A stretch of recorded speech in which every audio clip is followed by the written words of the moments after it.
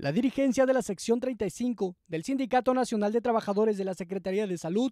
realizó este viernes un paro de labores a las 500 clínicas y centros de salud de Oaxaca, esto ante el incumplimiento a sus demandas laborales por parte de las autoridades de los servicios de salud del Estado. El secretario general de esta sección, Mario Félix Pacheco, explicó que luego de una reunión con la base trabajadora de los servicios de salud de Oaxaca, acordaron realizar este paro laboral de 24 horas que inició hoy a las 7 de la mañana en razón de la mala calidad y el desfasamiento del tiempo a la entrega de los uniformes otorgados durante los años 2014 y 2015. El día de ayer tuvimos un pleno estatal de delegados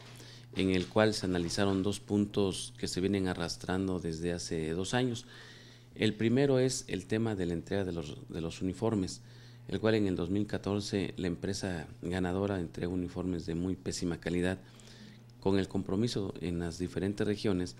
de que fue a, recoger los uniformes y que se los iban a devolver o se los iban a cambiar. No sucedió así en, la mayor parte de, las regiones. Eso causó molestias que veníamos arrastrando en este 2014. En el 2015 no recibimos la dotación de uniformes y prendas de protección hasta, hasta en estos días estamos recibiendo estos mismos uniformes, pero del 2015. El acuerdo que se tomó es que se iba a sesionar en el organismo público descentralizado con la presencia del Secretario de Salud Federal, Sindicato Nacional, Finanzas, eh, Administración y, Contraloría de Gobierno del Estado, nosotros como representantes de la 65. En, ese, en esa sesión, pues bueno, eh, se analizó, ellos nos dieron la parte legal por qué no se puede dar en efectivo y que finalmente eh, de ahí se le hizo una recomendación por parte del OPD a los servicios de salud que entregaran en tiempo y forma las prendas así como lo marcan las condiciones generales de trabajo. El objetivo, explicó, es presionar al gobierno de Oaxaca para que cumpla sus demandas, entre las que destacan el pago en efectivo de lo correspondiente a la entrega de uniformes 2016 y el pago a terceros institucionales y no institucionales, así como las quincenas atrasadas que les adeudan a algunos trabajadores. Que 25 millones corresponden a los servicios de salud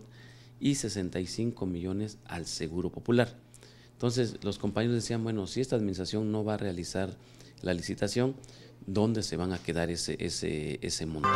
Mario Félix Pacheco precisó que este paro no afecta la atención a los derechohabientes, ya que las diferentes clínicas brindarán los servicios de urgencias, laboratorios, hospitalización y cocinas, pero separarán las demás áreas.